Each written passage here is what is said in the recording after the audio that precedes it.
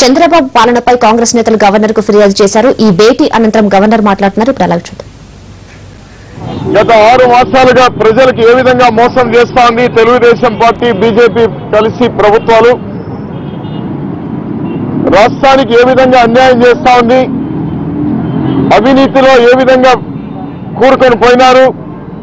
రాజకీయ కక్షలతో ఏ విధంగా నడుపుతా ఉన్నారు? ఆశ్రిత పక్షపాతంతో ఏ విధంగా చేస్తా ఉన్నారు? అనేటువంటి అన్ని విషయాలు కూడా వారి దృష్టికి తీసుకెళ్ళేటువంటి ప్రయత్నం చేసినాం ఎన్నికల హామీలకు పాతర వేసింది తెలుగుదేశం పార్టీ.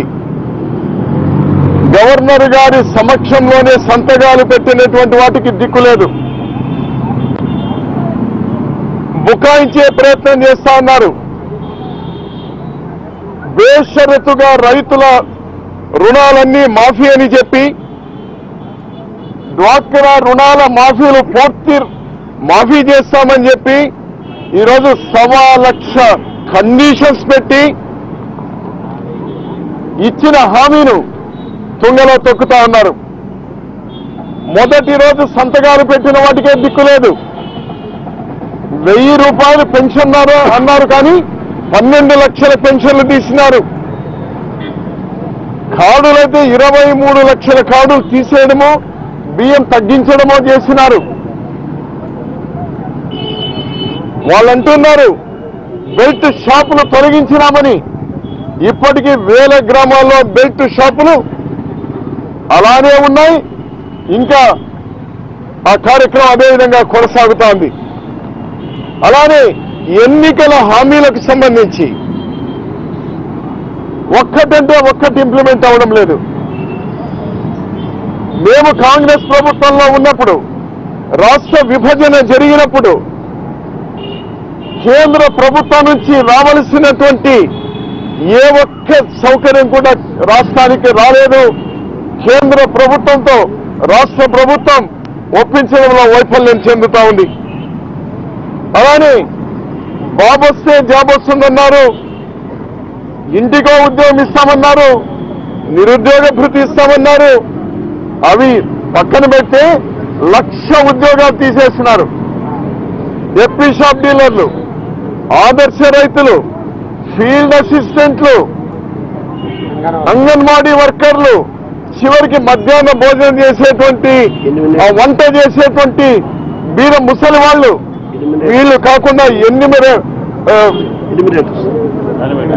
యానిమేటర్స్కు యానిమేటర్స్కు ఆరు నెలలుగా జీతాలు కూడా ఇవ్వనటువంటి పరిస్థితి. తెలుగుదేశం పార్టీ వెబ్సైట్లో నుంచి ఎన్నికల హామీలను పూర్తిగా తొలగించినారు. వాళ్ళు తప్పు చేస్తున్నారు. వాళ్ళు దొంగతనం చేస్తున్నారు. దాస్తున్నారు అని చెప్పడానికి వాళ్ళ వెబ్సైట్ నుంచి తొలగించడమే ఒక పెద్ద ఉదాహరణ నిదర్శనం అని చెప్పడం జరిగింది. కరువు విలయతాండం చేస్తా ఉంది. ఐదు వందల మండలాల్లో విలయతాండం చేస్తుంది. వెయ్యి గ్రామాలకు పైబడి తాగునీళ్ళు లేవు. పశుగ్రాసం లేదు. రైతులు అల్లాడిపోతా ఉన్నారు. ఇంతవరకు కరువు మండలాలుగా ప్రకటించలేదు. కరువు మండలాలు ప్రకటించడం అంటే సెప్టెంబర్ లాకర్ లోపల చేయాలి. కనీసం అక్టోబర్లో చేయాలి. డిసెంబర్ వచ్చిన కరువు మండలాలుగా ప్రకటించలేదు. కేంద్ర బృందం రాలేదు. కరువు సహాయక చర్యలు మొదలవ్వలేదు. ఈ విషయాలు దృష్టికి తీసుకెళ్ళినాం దీనికి తోడు మహాత్మా గాంధీ జాతీయ గ్రామీణ ఉపాధి హామీ పథకం ఆరు మాసాలు ఆగిపోయింది. లక్షల మంది వ్యవసాయ రైతులు వ్యవసాయ కూలీలు ఈరోజు అందరూ కూడా వలస వెళ్ళేటువంటి పరిస్థితి వచ్చింది. ఏడు సంవత్సరాల తర్వాత వలసలు మళ్ళీ మొదలైనాయి.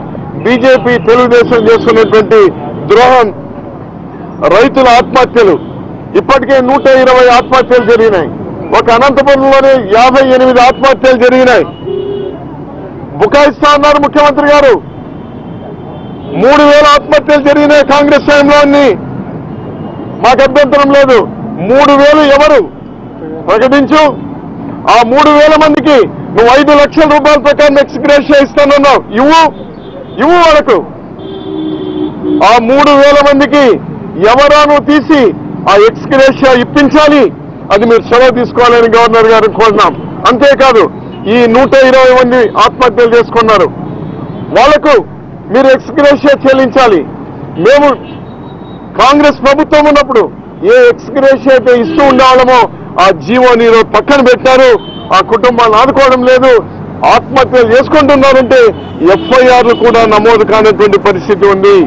దీన్ని మేము గవర్నర్ గారి దృష్టికి తీసుకెళ్ళడం జరిగింది. అలానే ఇంత నిర్దయగా ఉన్నటువంటి ప్రభుత్వం గతంలో ఎన్నడూ లేదు పోయిన సంవత్సరం మంజూరైనటువంటి ఎనిమిది వందల నలభై కోట్ల రూపాయల ఇన్సూరెన్స్. మూడు వేల కోట్ల రూపాయల ఇన్పుట్ సబ్సిడీ. ఇన్